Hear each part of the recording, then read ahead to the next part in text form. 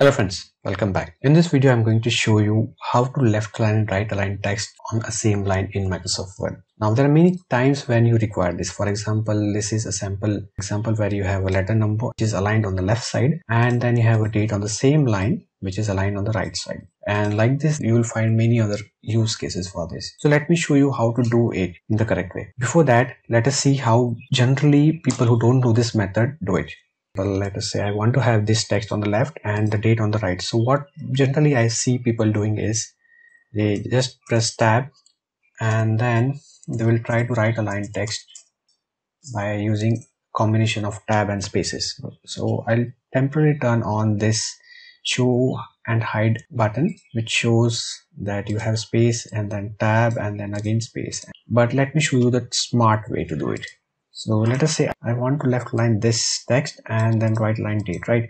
So I just separate this text via tab initially and then place the cursor just before the text. Then in the home tab go in paragraph section click on this arrow to open paragraph settings.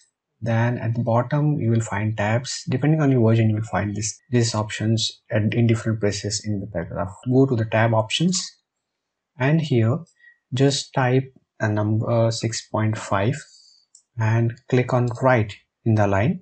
Then click ok. And you have this thing. Well what is this 6.5 this 6.5 is the size of the tab right? So basically you see this is a ruler. If you don't see ruler you go to wave view tab check the box against ruler to see this ruler. Now what is this 6.5 6.5 is the size of the tab right? So it starts from this point starting of the first text to this place. So it is just the difference between starting point of this and ending point of this right? So this is 6.5 inches. 1 2 3 and you can see the 6.5 inches. If this method doesn't align it to the perfect place what you can do is you can just play with this right tab and you can just drag it around as per your need right? So this is how you do it in the correct way so for watching more tips and tricks on Microsoft Word you can visit our site www.pickupbrain.com the link of that site will be there in the description.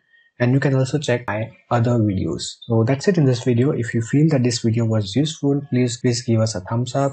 Subscribe to our channel to watch more such videos on microsoft word and excel tips and tricks